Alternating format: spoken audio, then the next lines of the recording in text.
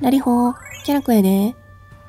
イニエスタシリーズ汎用のやさ姫、恒例の視聴率の発表です。第3話の視聴率は5.5%でした。先週より1.1%下がってしまいましたね。アニメ録画ランキングは大の大冒険が1位で、やさ姫は2位でした。YTV 毎度では見逃し配信ランキングっていうのもありまして、ドラマやニュースなどバラエティもある中、なんと2位でした。なかなか順調やと思います。もうね、知ってる方もいるとは思うんですが、汎用の餌姫、実は来年の3月末くらいまでで終了となりそうです。というのも、僕のヒーローアカデミアが来年の春から放送が土曜夕方5時半に決まっているみたいなんですね。この読売テレビ土曜夕方5時半枠っていうのは、今までタイムボカンやヒーローアカデミア、逆転裁判などが放送されてきて、どの作品も20話以上続いているので、2クールは放送されてるみたいなんです。なので、汎用のヤシャ姫も2クールの半年間は放送あります。ここから大事なことをお伝えするんですが、この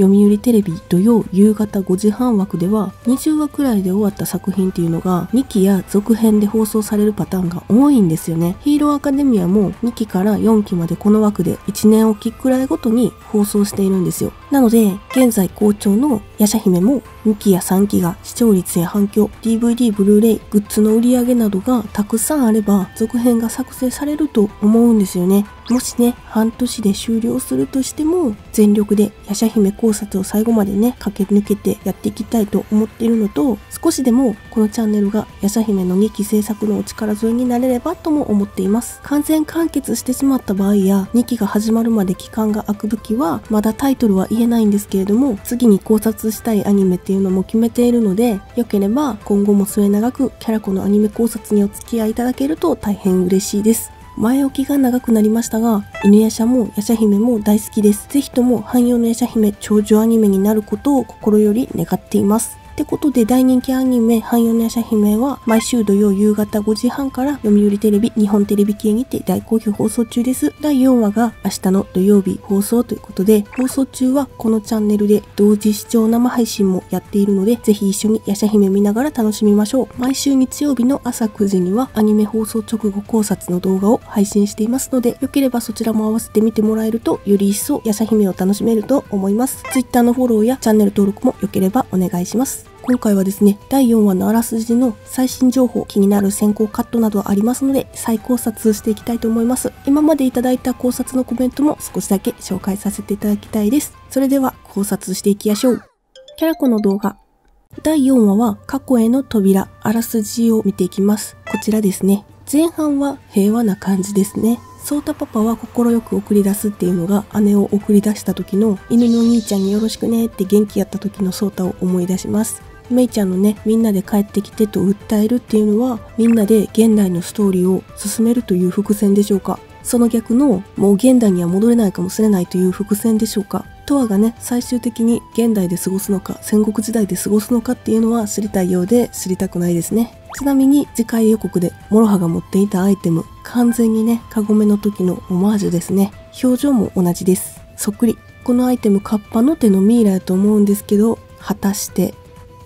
そして後半ですね、根の首をなんて書いてあるのかなと思った方も多いと思います。これ、騙すと読むらしいです。なので、根の首を騙したということですね。なかなかの策士やと思います、モロハ。根の首が大樹に根を張っているけれど、大したことができないのかもしれないですね。殺生丸の言う通り、取るに足らない雑魚妖怪なんでしょう。これからはドラえもんのどこでもドアのように都合よく通路を開いてもらう感じになるんでしょうか。だとしたら、現代と戦国時代を行き来して3人で仲良くガブリエル学園に通ったりする回とか見れたらいいなって思います。トアと一緒に買い物したり遊園地行ったりしてほしいなモロハのカップ麺食べた時の反応とかっていうのも見てみたいですね。きっとカゴメが現代から持ってきてた忍者食カップラーメンとかポテチなんかはモロハが生まれる前に底をついてしまっててモロハは忍者食を知らずに育ったと考えられるんで、スーパーとかお店でカップ麺選んでるモロハっていうのも見てみたいなと思いました。話がそれたので戻ります。ご神木の核にたどり着いたとありますね次回予告で映っていたシーンは通路の途中でしょうかここは通路の中にさらに木が生えてるという解釈でいいのでしょうかこの木の中にカゴメかリンと思われる人物が映っていましたよねこの人物先行カットでズームされた画像っていうのが出ていました。瞳を閉じているのでまた誰かっていうのはわからないんですけれども以前の第3話直後考察で過去メ説と隣説を唱えていたんですがネットでも意見は半々くらいでした。次回予告の時点で過去メ説を押していたんですがこの画像を見るにカゴメより胸が小さく見えること髪の毛が跳ねていること前髪の毛先の分かれ方がカゴメより繊細に見えること。この人物がカゴメなら巫女服でいいんじゃないかと疑問に思うことから凛ではないかと推測しました。第4話でトワやセツナたちがこの女性の前にたどり着いたとしても見知らぬ女性と思うと思うんですよ。そしたら女性の名前が出てこないっていう可能性もあると思うので今回凛かカゴメかはっきりさせたいと思いましたので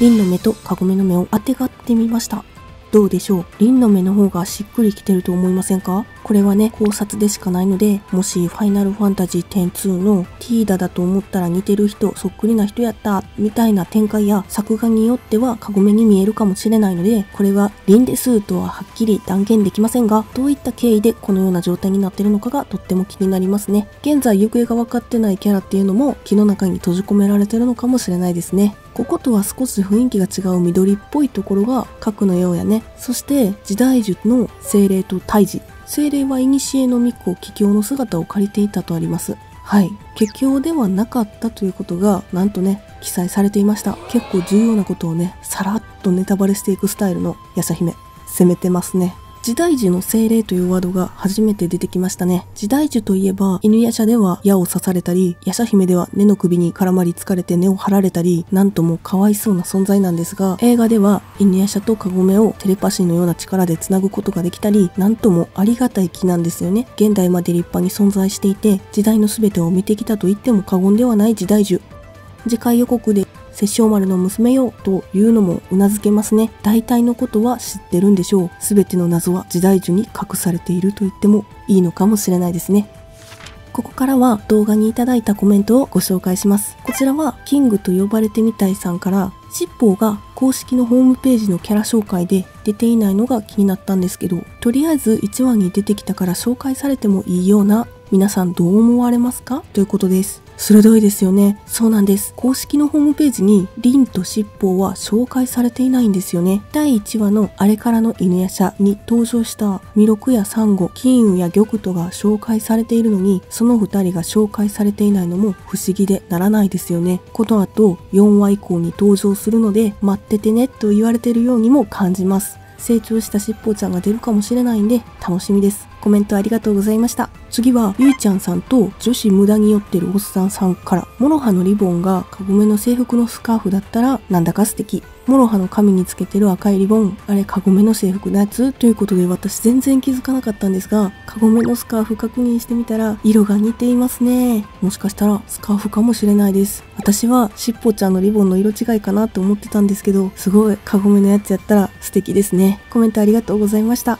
次は AM さんから、トワとセツナの小さい頃の着物の柄が、殺生丸の腰紐の柄と同じことに今気づきました。燃えます。ということでね、えなんと着物の柄が本当ですねすごいこれも全然気づかなかったですかなり尊いですねこの柄の着物リンにも着てほしい家族みんなでね着てほしいなってなりましたコメントありがとうございますよければ、ヤシャ姫で気づいたことあれば、どんどんコメントで教えてくださいね。ということで、第4話直前考察してみました。明日いろいろ明かされると思うので、楽しみにしています。これからも引き続き、汎用のヤシャ姫、ぜひ一緒に考察していきましょう。それではもう一度、汎用のヤシャ姫は、は毎週土曜、読売テレビ、日本テレビ系にて、夕方5時半から大好評放送中です。アニメの放送中は、同時視聴生放送もこのチャンネルでやってるので、リアルタイムで考察しながら一緒に楽しみましょう。翌日のの日曜朝9時には、ヤシャ姫最新話直後の考察動画もこのチャンネルでアップしていますので、ああだこうだ語り合ってみんなで幸せ分け合えたら嬉しいです。それでは次回の動画でお会いしましょう。ご視聴ありがとうございました。バイビー。